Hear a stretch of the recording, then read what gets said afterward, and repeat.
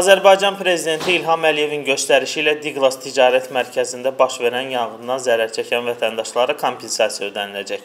Bu barədə Nizami rayon İcra Hakimiyyətində Diglas Ticarət Mərkəzində baş verən yanğından zərər çəkənlərlə keçirilən görüşdə Prezident Administrasiyasının regional idarəetmə və yerli özünü idarəetmə orqanları ilə iş şöbəsinin müdir müavini Hüseyn Mövsümov bildirib. O qeyd edib ki, yanğın hadisəsi ilə əlaqədar məsələlər Prezident İlham Əliyevin və birinci vitse-prezident Mehriban Əliyevanın nəzarətindədir. Hər bir vətəndaşa dəyən ziyana görə kompensasiya ödəniləcək. Bununla əlaqədar komissiya yaradılacaq. Həmin komissiya dəymiş zərəri hesablayacaq. Görüşdə həmçinin qeyd olunub ki, baş vermiş yanğınla bağlı cinayət işi başlanıb. Ticarət mərkəzinin səlahiyyətli şəxsləri qanun qarşısında cavab verəcəklər.